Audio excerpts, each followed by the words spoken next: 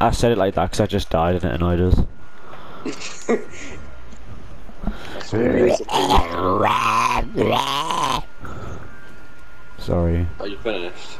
Yeah, you you can continue now. Are you finished? You sounded so annoyed. I want to hear that from your perspective. I'll clip it in a minute. Died